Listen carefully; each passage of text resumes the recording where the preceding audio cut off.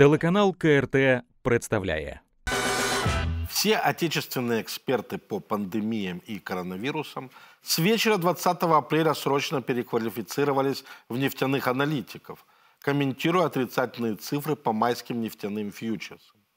Понятно, что этот феномен, несмотря на вполне рациональное объяснение, еще потребует своего осмысления в рамках поведенческой экономики, по которой на сегодня получено всего две Нобелевские премии против десятков Нобелевок, описывающих несуществующие рыночные равновесия.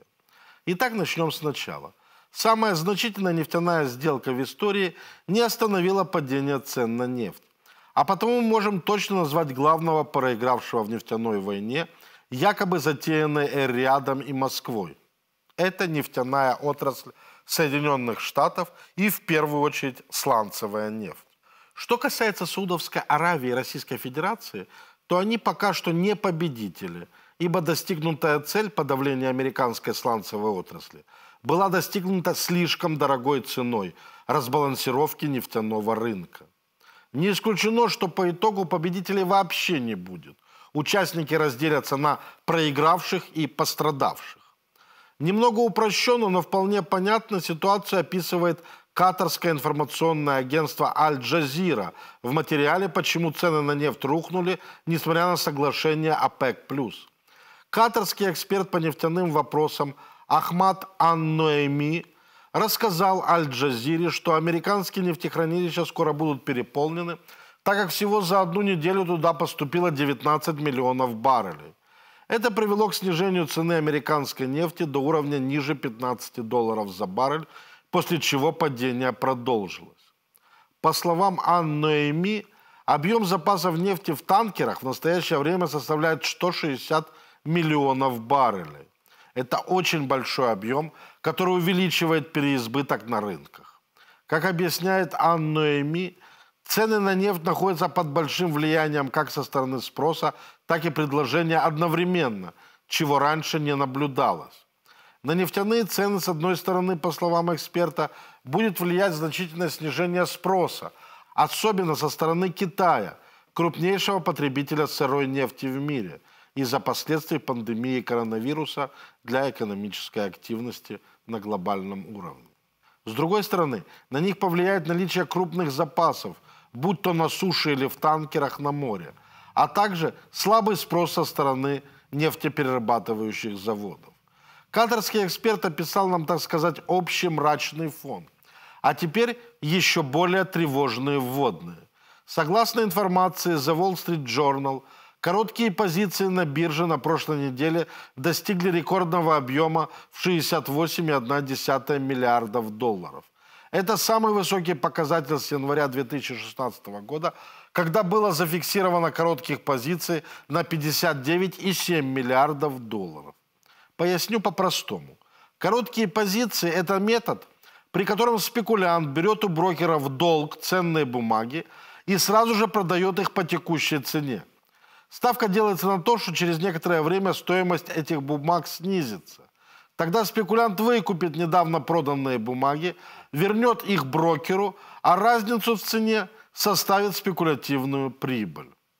Кроме того, согласно мартовскому опросу, только 11 из 25 руководителей крупнейших американских корпораций, опрошенных Американской торговой палатой в Китае и Американской торговой палатой в Шанхае – сочли невозможным разъединение экономик США и КНР. А еще в октябре прошлого года невозможным такое разъединение считали 16 из 25 руководителей американских гигантов. Но к этой всей статической картине очень быстро добавились динамические элементы. 17 апреля агентство Bloomberg сообщило, что Саудовская Аравия запланировала на апрель поставку в США примерно 600 тысяч баррелей нефти в день. Это максимальный объем за год.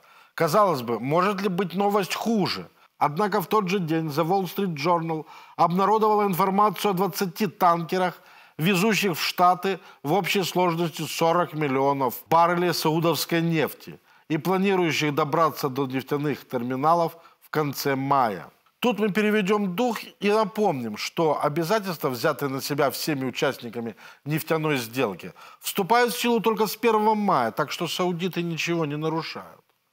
Комментарии The Wall Street Journal президент нефтяной компании Latiga Petroleum Кирк Эдвардс заявил, цитата, «Мы знаем, что корабли приближаются, и тем не менее никто ничего с этим не делает». Конец цитаты. Происходящее Эдвард сравнил с нападением на Перл-Харбор во время Второй мировой войны. Однако в данном случае саудовский танкерный флот пер на этот Харбор не очень быстро.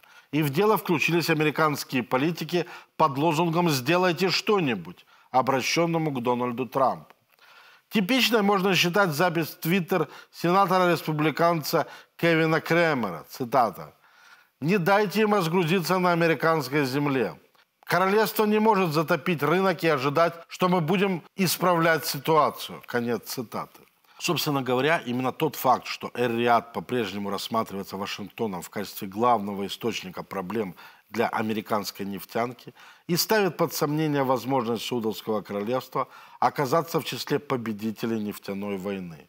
Напомню, что саудиты, кроме сокращения добычи на 2,5 миллиона баррелей в день от уровня октября 2018 года в рамках сделки ОПЕК+, были вынуждены под давлением США сократить добычу в рамках пула Саудовская Аравия, Кувейт, Объединенные Арабские Эмираты еще на 2 миллиона баррелей.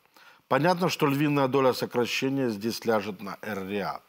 Кроме того, саудиты дополнительно повысили от 2,5 до 4,5 долларов за баррель цену на нефть для Северной Америки, тем самым добровольно снижая конкурентоспособность собственной. Но, как мы видим, все равно единственным инструментом, который остается в руках Вашингтона для защиты своей нефтянки, является эмбарго. Кстати, кто там что нам про свободный рынок рассказывает?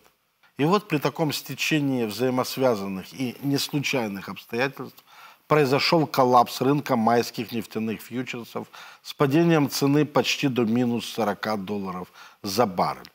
Да, действительно, на пике паники при объеме одного контракта в одну тысячу баррелей его покупатель сразу получает 37 тысяч долларов и еще должен будет в мае забрать одну тысячу баррелей нефти из хранилища в Кушинге, штат Оклахома.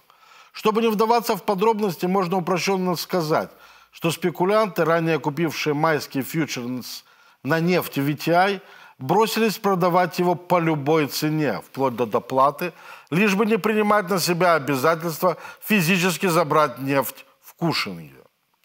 Причина этого поведения, отсутствие на рынке свободных хранилищ для нефти из-за огромного переизбытка предложения.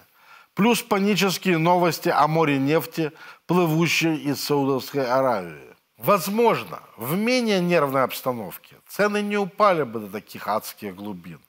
Дело в том, что на момент этой катастрофической биржевой сессии хранилище в Кушинге было заполнено на 55 миллионов баррелей при максимальном объеме в 76 миллионов.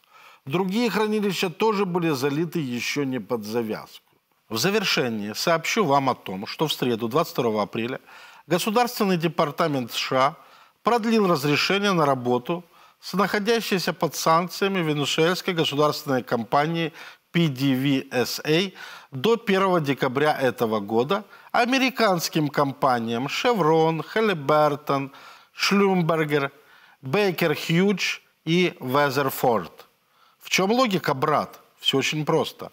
Венесуэла поставляет в США тяжелую нефть, которая сегодня в дефиците на фоне избытка легкой нефти. И эти поставки позволят загрузить нефтеперерабатывающие заводы, расположенные на юге Соединенных Штатов.